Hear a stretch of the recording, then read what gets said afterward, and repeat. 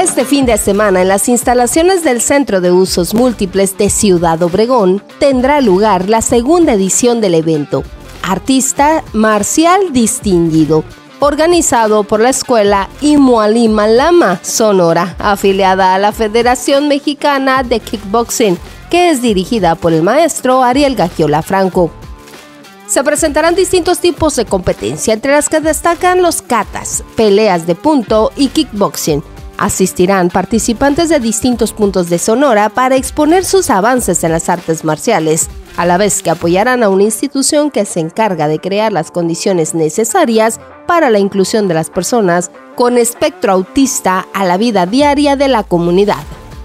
El evento tendrá lugar este domingo 5 de marzo a partir de las 10 de la mañana y se trata de una convivencia en la que las familias de los competidores podrán disfrutar de las comodidades que les da nuestra ciudad, a la vez que aplauden a sus favoritos en este interesante ambiente de las artes marciales.